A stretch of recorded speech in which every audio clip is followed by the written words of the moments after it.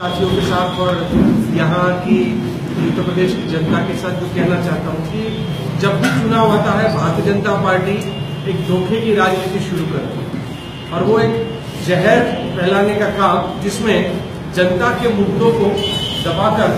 जो जनता के मुद्दे नहीं है, कार्य से वो भाजपा का एजेंडा है, उसी पर वो चुनाव को खींचने की कोशिश करते हैं।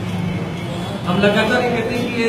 देश का लोकतंत्र जो है और चुनाव जब होता है तो देश की जनता के हितों के लिए होता है, और चुनाव में जो चर्चा होनी चाहिए, वो जनता के मुद्दों की होनी चाहिए। शिक्षा और स्वास्थ्य की चर्चा होनी चाहिए, रोज़गार और कृषि की चर्चा होनी चाहिए सीमाओं की और बच्चियों की सुरक्षा के बारे में बात होना चाहिए, पर महँगाई के मुद्दों पर बात होना चाहिए। पर कुल मिला के अगर आप देखोगे तो ये लोग चुनाव को है, लगातार भारतीय जनता पार्टी भावनात्मक खिलवाड़ की तरह ले जाते हैं और भारत, पाकिस्तान, हिंदू, मुसलमान, स्मशान, कब्रिस्तान, अली, बली से लेकर ज़रूरत पड़े तो वो गाय को भी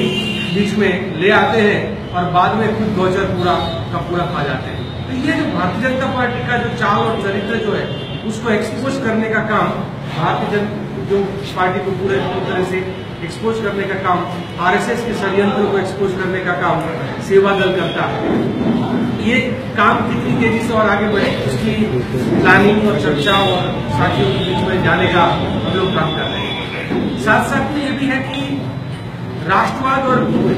उसको लेकर जिस प्रकार से पूरा मुद्दा नरेंद्र मोदी, भारतीय जनता पार्टी, अमित शाह और वो सब उठा रहे हैं और आर आरएसएस उठा रहा है, हम लोग ये लगातार कहते आए हैं तो जो देश के संविधान को ना माने, देश के संविधान को ना माने, जो देश के राष्ट्रगान को ना माने और देश के तिरंगों को ना माने उससे बड़ा गद्दार इस देश में कोई हो नहीं सकता है। और उस प्रकार की गद्दारी करने वाले को राष्ट्रवाद का सर्टिफिकेट बांटने का कोई अधिकार नहीं हो सकता राष्ट्र का राष्ट्रवाद और राष्ट्र प्रेम वो होता है जिसके लिए लोग बलिदान ज़रूरत पड़े को संघर्ष सब्सक्राइब कीजिए हमारे हिंदुस्तान की आवाज़ यूट्यूब चैनल को और इस बेल आइकन को ज़रूर दबाइए ताकि आपको हमारे वीडियो का लेटेस्ट अपडेट मिल सके जो कि बिल्कुल मुफ़्त है।